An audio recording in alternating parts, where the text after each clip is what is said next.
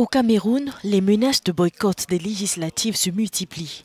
Le premier parti d'opposition au Parlement, le Social Democratic Front, a annoncé jeudi qu'il boycottera les élections législatives prévues le 9 février 2020 si la paix ne revient pas dans l'Ouest anglophone.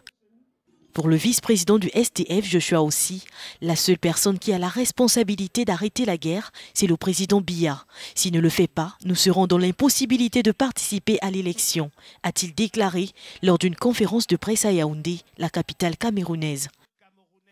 Lundi, Maurice Kamto, arrivé deuxième lors de la présidentielle d'octobre 2018, a annoncé que son parti, le Mouvement pour la Renaissance du Cameroun MRC, ne participerait pas aux élections municipales et législatives du fait du conflit en cours dans les deux régions anglophones du pays. Il a également exhorté tous les partis politiques de l'opposition et l'ensemble de la société civile, entre autres, à boycotter ce double scrutin.